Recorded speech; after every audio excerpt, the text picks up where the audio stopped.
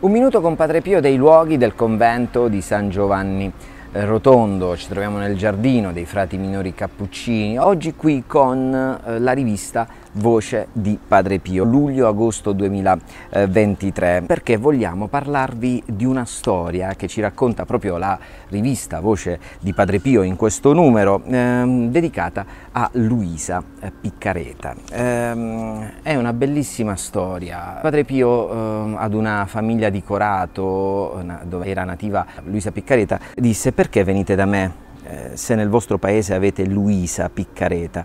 Era la risposta di Padre Pio che eh, oltre a non conoscere ehm, eh, Luisa, infatti i due non si sono mai incontrati, aveva stima di lei, ne leggeva i suoi scritti, quindi eh, di questa donna che era vittima di espiazione consumata sull'altare quotidiano del suo letto di dolore. Eh, Luisa era una donna che viveva proprio la volontà di Dio. L'Eucarestia eh, era la passione principale, predominante, e un giorno ha una visione. Gesù sulla via del Calvario la fissa, le chiede aiuto, anima, aiutami, Nasce così in lei questo desiderio insaziabile di patire con Gesù le sue sofferenze per la salvezza delle anime. A 16 anni fa voto di offrirsi come vittima di espiazione. Cominciano così gli attacchi del demonio e anche le sofferenze fisiche con la perdita di sensi, il successivo fenomeno dell'impietrimento, durante il quale ehm, ha anche delle visioni di Gesù che la sceglie come vittima. Viene interpellato un religioso agostiniano ehm, che visita l'inferma e le traccia un segno di croce sulla fronte eh, ed è il sacerdote a farlo. Su quel corpo impietrito, immobile, lei riusciva a muovere a stento gli occhi per capire cosa eh, stava accadendo. Eh, fra la meraviglia dei presenti il corpo di Luisa riacquista le sue normali funzioni. Ogni giorno viene chiamato un sacerdote qualsiasi che con un segno di croce la riporta così alla normalità. Luisa diventa terziaria domenicana con il nome di Suor Maddalena eh, nella cripta di, eh, del santuario di Santa Maria Greca che oggi custodisce le sue spoglie. Don Michele, il suo padre spirituale, si accorge che questa donna vive solo della volontà di Dio e eh, dal 1889 le dà il permesso di rimanere a letto, vivere questa sua sofferenza, eh, dove rimane seduta, pensate un po', ininterrottamente per circa 59 anni, fino alla morte. Il nuovo confessore, Don Gennaro, le ordina di mettere per iscritto tutto quello che avviene in lei, ovvero, vado sul virgolettato, mettere per iscritto tutto ciò che la grazia divina opera in te. E allora, nonostante avesse frequentato soltanto la prima elementare, Luisa comincia eh, nel 1889, pensate, a scrivere il suo diario, un manoscritto di 36 volumi in 10.000 pagine. All'inizio del Novecento incontra anche Sant'Annibale Maria di Francia, che diventa il suo confessore straordinario e censore anche dei suoi scritti, i quali vengono esaminati regolarmente e approvati dalle autorità ecclesiastiche. Eh, Don Annibale pubblica anche eh, l'orologio della passione, stampato, pensate un po', in cinque edizioni. E qui arriva Padre Pio. L'ho letto quattro volte era questo il commento che fece Padre Pio ad un suo figlio spirituale, Federico Abresch, che gli parlò di Luisa e che lui visitava regolarmente. E poi aggiunse eh, questo Padre Pio, il prossimo è ancora più bello. Beh, Padre Pio fece riferimento ad un libro che stava per essere stampato, di cui nessuno sapeva nulla. Eh, era quello sulla Madonna, sulla Vergine, la Vergine Maria nel regno della Divina Volontà.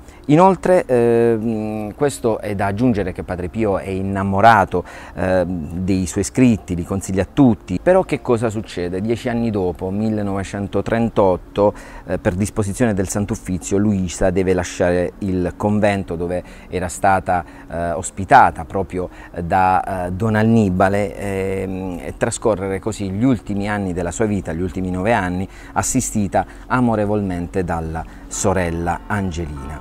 Eh, I suoi scritti vengono anche condannati dalla Chiesa, messi all'indice. Luisa si rimette però totalmente all'obbedienza eh, delle autorità ecclesiastiche, eh, consentendo anche all'incaricato eh, romano di eh, recuperare tutti i suoi scritti, e infatti oggi sono conservati e custoditi eh, negli archivi vaticani.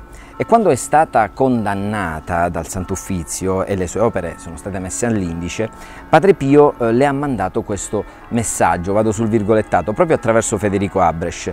Dille che i santi servono per il bene delle anime, ma la loro sofferenza non conosce limiti. Dopo qualche giorno eh, Padre Pio eh, visita Luisa in bilocazione e sta a colloquio con lei per circa due ore. I vicini di casa, tra l'altro, si accorgono di un frate che lascia casa sua. I due eh, quindi si conoscono da tempo, senza essersi mai incontrati, perché Luisa è confinata nel suo letto accorato e Padre Pio eh, in questo convento, qui a San Giovanni Rotondo. Anche Luisa parla con venerazione e rispetto di Padre Pio, eh, descrivendolo come un vero uomo di Dio che ha ancora grandi sofferenze da affrontare per il bene delle anime. Siamo negli anni 30.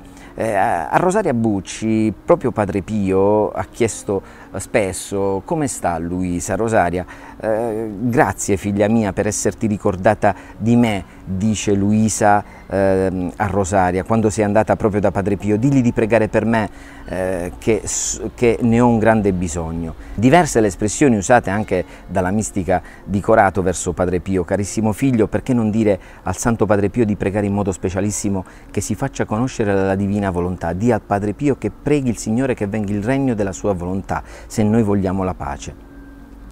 Luisa Piccarreta muore nel 47, a 81 anni, muore all'alba, prima del risveglio, per cui rimane seduta sul letto sua, nella sua stessa posizione avuta per tutta la vita e pertanto non è stato possibile così, diciamo, stenderla e quindi ehm, anche ehm, al cimitero venne portata in questa posizione eh, quasi da seduta eh, con una eh, tra virgolette bara un, che era stata realizzata ad hoc eh, per l'occasione. E dopo la sua morte, quando eh, si pensò che tutto era ormai eh, finito, ecco ricordiamo che oggi Luisa è serva di Dio, ehm, sempre eh, la signora Bucci, Rosaria, che eh, si affidava alle preghiere eh, di Padre Pio e eh, chiedeva appunto eh, anche che ormai era tutto finito per questa, per questa donna di Corato, si rivolge a Padre Pio che nel dialetto beneventano le dice